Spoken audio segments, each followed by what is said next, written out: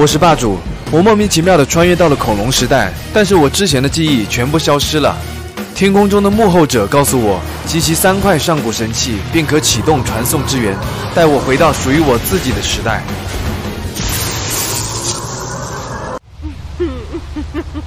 笑什么？快说！我叫木子，是来杀罗克维尔的。那个腐化人是罗克维尔的手下，他现在在哪？哼，他早就死在我手上了。你和他一样，也是罗克维尔的手下吧？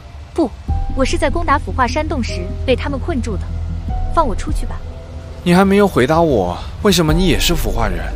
我是不小心喝到辐射河水才变成这样的。你没有喝过吗？原来是这样，那他和我应该就是一路人了。好吧，我就暂且相信你。料你也耍不出什么花样来。等等，我之前喝过辐射河水，但是过段时间腐化状态自己就解除了。在我来到六号世界之前，你应该就被困在这里了。按理说，腐化状态早就该解除了。你在撒谎，你分明就是罗克维尔的手下。也许是因为之前喝的辐射河水太多，所以需要更长时间才能解除腐化状态。如果我是他手下，又怎么会被他关在水缸里呢？对呀，如果你不是他的手下，那他为什么要把你关在水缸里，而不是直接杀了你呢？罗克维尔要我加入他，可是我没有同意，于是腐化人就将我困在水缸里折磨我。这一点我倒是深有体会。那个时候他也是一再的让我加入他，其实他有机会杀死我，但是他并没有那么做，他太小瞧我了。可惜现在腐化山洞已经被我掌握了。如果你放我出去，我会和你一起对付罗克维尔。放你出去也不是不行，但要等到你的腐化状态解除之后，而不是现在。不过你放心，我不会让你饿死的。这样你都不肯相信我，你还真是够谨慎呢。狐狸尾巴终于露出来了，你这个腐化人，叫我怎么相信你啊？我已经说过了，等你腐化状态解除，就把你放出来。你为什么不继续装下去呢？是不是因为你的腐化状态根本就不会自动解除？我终于明白了，为什么你要待在水缸里面。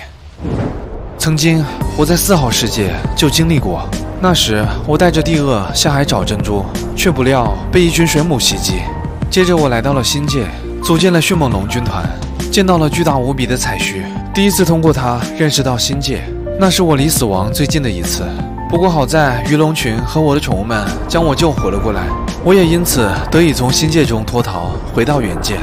那么，腐化山洞的水缸、水母、腐化女人，甚至能够提供氧气的水，再加上六号世界的新界中奇怪的女人声音，这种种的迹象证明，你就是罗克威尔，或者说你就是被罗克威尔控制的低级腐化意识。那个水缸是你们去往新界的通道，而水母。则是打开通道的开关，我说的没错吧？你知道了又能怎样？大不了一枪打死我。罗克维尔，你对别人的身体还真是毫不在乎。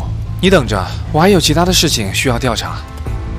这边还有一些无名怪的培养箱，本来我打算将它们全部摧毁，但仔细一想，这些无名怪也不是腐化生物，所以应该不能直接被罗克维尔操控。先留着它们，说不定以后还能为我所用。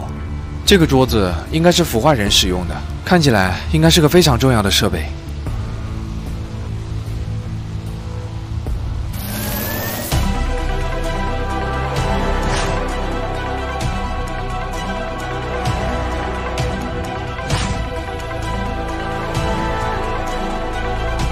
原来如此。原来这个设备就是用来控制传送支援的。罗克维尔就是通过控制腐化人，使用这个设备监视传送支援，然后与我交流。除此之外，好像还可以打开通往其他世界的通道，只不过还需要输入密码。但这密码究竟是什么呢？